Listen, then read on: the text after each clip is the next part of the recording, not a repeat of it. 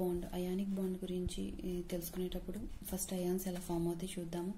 And ion are molecule that gains or loss of electrons ions ఎలా form అవుతాయంటే ఒక atom electrons కానీ loose అయితే అప్పుడు క్యాటయాన్స్ ఫామ్ అవుతాయి. అంటే పాజిటివ్ ఛార్జ్ ఒక ఒక ఒక యాటంలో ఒక యాటంలో ఇందులో యాటంలో ఒక ఎలక్ట్రాన్ని అవుటర్ మోస్ట్లో ఉన్నటువంటి ఒక ఎలక్ట్రాన్ని లూజ్ అంటే ఇవ్వడం వల్ల దీనికి పాజిటివ్ ఛార్జ్ వస్తుంది. అండ్ ఈ ఎలక్ట్రాన్ని అదే ఎలక్ట్రాన్ని ఇది తీసుకోవడం వల్ల దీనికి నెగిటివ్ ఛార్జ్ వస్తుంది అనమాట atom atom form cations when they lose electrons ఒక ఎలక్ట్రాన్ ఇచ్చేయడం వల్ల దీనికి పాజిటివ్ ఛార్జ్ వస్తుంది. ఆటమ్ ఫామ్ యానియాన్స్ యానియాన్స్ ఎప్పుడు ఫామ్ చేస్తుంది? When they gain electrons electrons okay electrons gain అయినప్పుడు నెగిటివ్ ఛార్జ్ దాన్ని anions ionic bonds Ionic bonds are strongly bond formed when opposite charged ions are attract to each other.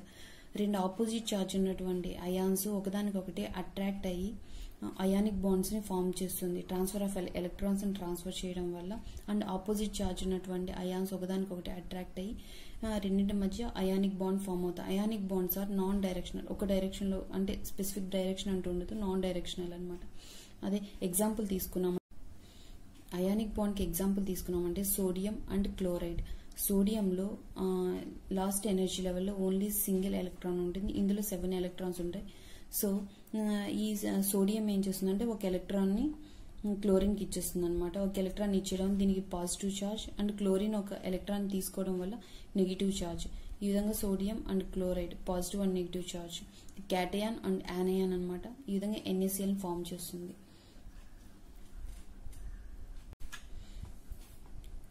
Ionic bond example తీసుకున్నామంటే sodium and chloride. సోడియంలో outermost energy లెవెల్లో only single electron ఉంటుంది. క్లోరిన్లో seven electrons ఉంటాయి. Sodium ఒక ఎలక్ట్రాన్ని transfer చేస్తుంది. క్లోరిన్కి ఇవ్వడం వల్ల ఈ సోడియం ఏమో పాజిటివ్ ఛార్జ్ వస్తుంది అండ్ క్లోరిన్కి ఏమో నెగిటివ్ ఛార్జ్ వస్తుంది. ఈ విధంగా రెండింటి మధ్య sodium and chloride opposite charged ions కాబట్టి సమ్ అట్రాక్షన్ అట్రాక్షన్ ఫోర్సెస్ ఉండి అయానిక్ బాండ్ ఫామ్ చేసి ఎన్ఏసీఎల్ని ఫామ్ చేస్తుంది. అంటే next covalent bond the chemical bond covalent bond వచ్చి chemical bond a chemical bond that involve sharing of electron pairs between the atom two atoms కలిసి electron పేర్ని share చేసుకోవడం వల్ల కోవాలెంట్ బాండ్ ఫామ్ అవుతుంది.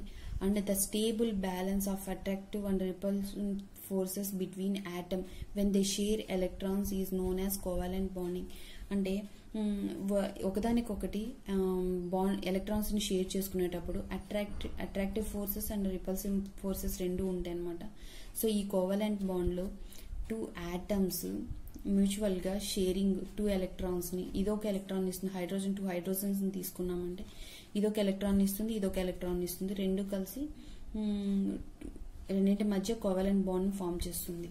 సో ఈ విధంగా హైడ్రోజన్ హైడ్రోజన్ మధ్య covalent bond form అవుతుంది. Ionic bond covalent bond ionic bond ఎలా ఫామ్ అవుతుందంటే ట్రాన్స్ఫర్ ఆఫ్ ఎలక్ట్రాన్స్ ఎలక్ట్రాన్స్ని ఎలక్ట్రాన్స్ ఒక ఆటమ్ ఇంకొక ఆటమ్కి ఎలక్ట్రాన్స్ని ట్రాన్స్ఫర్ చేయడం వల్ల అయానిక్ బాండ్ ఫామ్ అవుతుంది. And covalent bond sharing of electrons two atoms కలిసి um, ఎలక్ట్రాన్ని షేర్ చేసుకోవడం వల్ల కోవాలెంట్ బాండ్ ఫామ్ అవుతుంది. ఇందులో ఎలక్ట్రోస్టాటిక్ ఫోర్సెస్ ఉంటుంది అయానిక్ బాండ్లో. కోవాలెంట్ బాండ్లో ఇంటర్ మాలిక్యులర్ అట్రాక్షన్స్ ఉంటాయి.